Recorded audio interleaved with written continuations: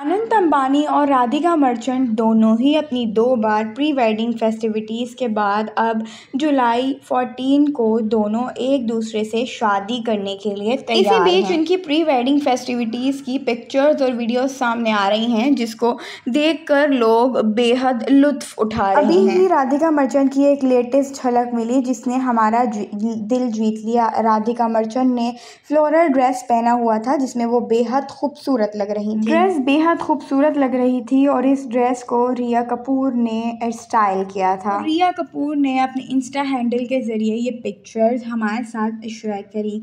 अनंत अंबानी और राधिका मर्चन अब दोनों एक दूसरे से शादी करने के लिए तैयार हैं। वहीं पर इनकी खूबसूरत खूबसूरत झलकियाँ अपनी प्री वेडिंग फेस्टिविटीज़ से देखने के लिए मिल रही हैं। आपको बताते चलें, अब दोनों ही एक दूसरे के होने वाले हैं। फाइनली तौर पर दो बार प्री वेडिंग फेस्टिविटीज़ करी, जिसके अंदर पहली बार तो सभी बॉलीवुड एक्टर्स शामिल हुए, लेकिन अब जो सेकंड प्री वेडिंग है, वो अभी थोड़ी सी टाइम ले रही है। यानी कि उसमें कम लोग शामिल हुए हैं। So have a look on this beautiful pictures of Radhika Merchant